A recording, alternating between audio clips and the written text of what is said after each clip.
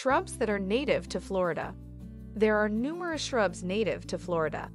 Many of them can be found in the wild and are frequently repurposed as decorative shrubs for yards and gardens. These come in a variety of different species, and most are pretty easy to care for provided you live in a hardiness zone comparable to their native region. Here are the top Florida native shrubs for your garden or landscaping. Number 1. Red Buckeye The red buckeye is a tiny tree that rarely grows taller than 20 feet. The red buckeye has red tubular type flowers that attract hummingbirds and butterflies. This plant is well known for its dramatic display of clusters of lovely red flowers in the spring. It also has flaky brown bark and a coarse structure that complements a typical drab winter scene. It does well in partial sun and has a low tolerance for shade. The red buckeye plant grows in a variety of soil types and requires irrigation, especially during dry seasons. It is ideal to plant the red buckeye in late winter or early spring. Remember that its seed pods are extremely harmful to humans.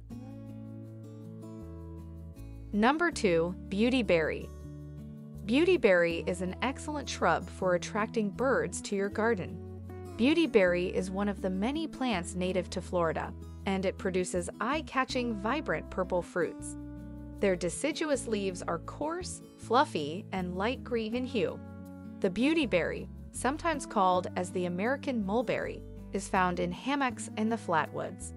However, thanks to the birds, this plant has spread throughout many different terrains. This tiny and widespread shrub grows 3 to 8 feet tall and 4 to 8 feet broad.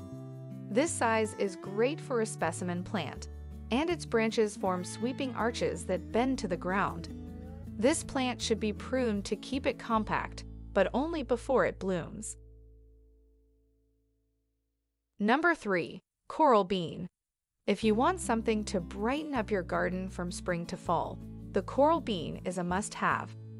It is one of the natural Florida plants that produces red blossoms and attracts butterflies and hummingbirds. The seed pods of the coral bean begin to mature as the summer garden fades throughout the fall season. The coral bean resembles black English pea pods that open to reveal crimson red seeds inside. The plant is both lovely and toxic, as a result, keep this plant away from children and dogs.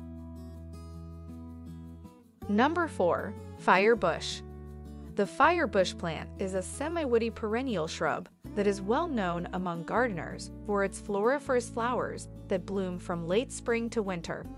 It has vivid red blossoms that attract hummingbirds and butterflies, like the Gulf fritillary and the zebra longwing. Songbirds feast on the berries produced by the plant, the firebush plant blooms for months and is a very easy shrub to care for once established. Number 5. Florida's native bromeliads. Bromeliads come in a variety of sizes and shapes, and the majority are tropical plants that may grow outside in frost-free locations.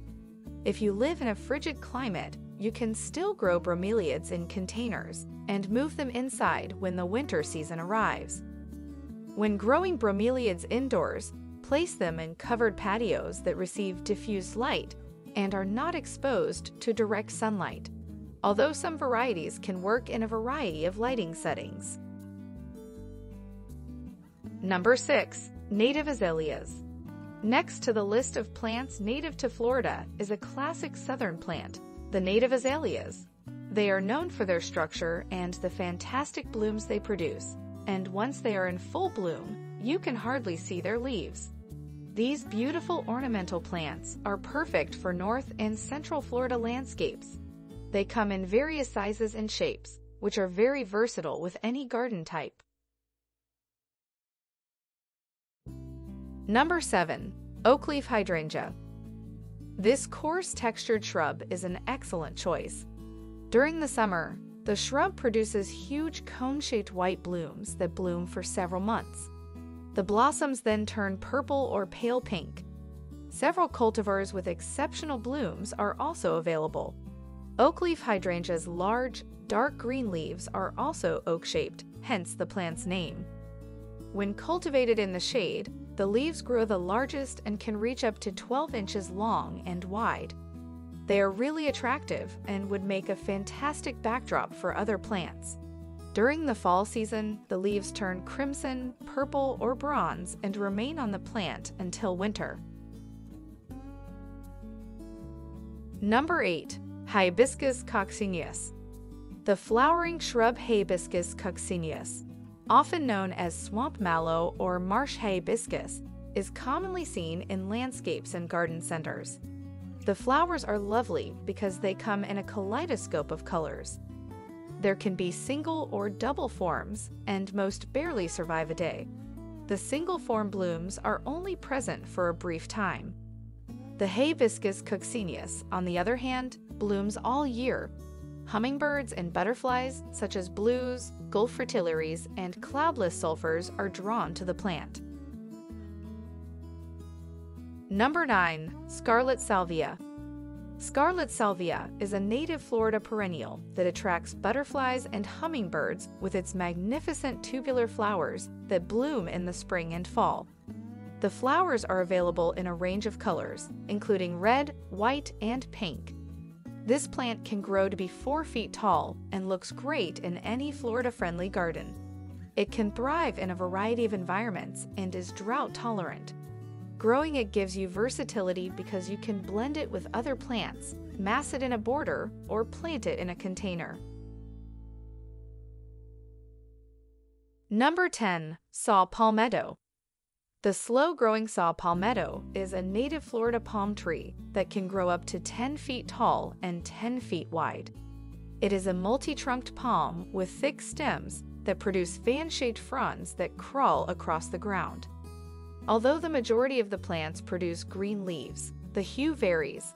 It can be silver or blue-silver in hue, which is popular in the eastern region of Florida. In the horticultural sector, these forms are commonly known as Cineraria, Glauca, and Sericea. The saw palmetto is endemic to southeastern Florida, but it can also be found in the north and west. It grows in natural places and in the wild, but it can also be used in residential gardens and commercial landscaping throughout the state. Well, that's all for today's video, guys. If you like this video, don't forget to click the like and subscribe button for supports our channel. Also, you can turn on the notification bell for latest videos from us. Well, see you in the next interesting topics.